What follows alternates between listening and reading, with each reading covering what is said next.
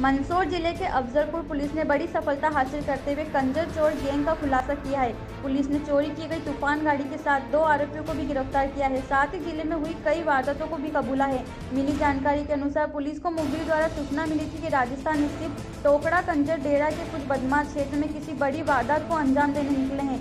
सूचना पर कार्रवाई करते हुए थाना प्रभारी अफजलपुर सुवासरा, सीतामऊ एवं दलोदा एवं हमराह बल द्वारा उक्त बदमाशों की नाकाबंदी एवं घेराबंदी करते हुए ग्राम सातलखेड़ा जंगल में विनोद व लड्डू कंजर को मैं एक देशी कट्टा 315 बोर्ड एक ज़िंदा राउंड के साथ गिरफ़्तार किया गया है। साथ ही रात्रि में चोरी गई तूफ़ान फोर्स गाड़ी भी बरामद की गई है। पुलिस अब अन्य वारदातों को लेकर इसमें पूछताछ कर रही है।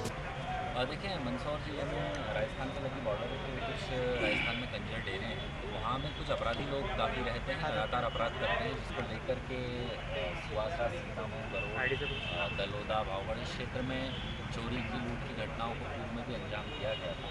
और इस तरह की शिकायतें थी। लगातार लगभग छः बार इन डेरों पर राजस्थान पुलिस की मदद से राजस्थान के प्रदेश में मध्य प्रदेश पुलिस ने दबिश दी और चाहे वो नाव से जा कर के चाहे अर्ली मॉर्निंग चाहे रात में जियोज और डी स्तर सौ सौ लोग वहाँ पर जा कर के दबिश दे करके आए।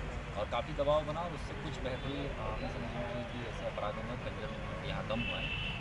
अभी दो कंजर चोरी के वाहन, फोर व्हीलर को लेकर के उनके पास कट्टा भी बरामद हुआ है।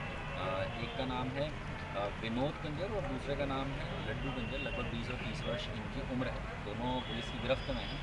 इनसे जो चोरी का अफजलपुर में एक फोर व्हीलर वाहन हुआ था, वो बरामद हुआ है। साथ ही विनोद के द्वारा एक तीन से चरण लूट का प्रकरण भी महिला के खड़े लूट करके ले गया था। उसमें भी ये फरार अपराधी था उसका भी निराकरण हुआ है। चोरी इसके द्वारा पूर्व में की गई थी, उसका भी निराकरण किया गया और दलुदा की जो चोरी एक इनके द्वारा की गई थी, कलुंजी की, संभवतः उसमें भी यही आरोपी हो सकते हैं, उसकी भी तफ्तीश की जाए देखिए, जो बंदी की बात आई है, उसमें भी प्रयास किए गए हैं। ऐसे नाम आ रहे थे कि कुछ बीच के दलाल हैं, उनको ला करके पुलिस ने पूछताछ की गई है।